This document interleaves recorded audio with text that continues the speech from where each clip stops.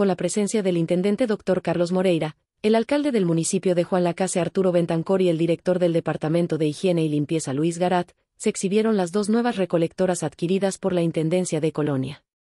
Las mismas se efectuaron a través del convenio con el Ministerio de Ambiente para la mejora del tratamiento de los residuos sólidos.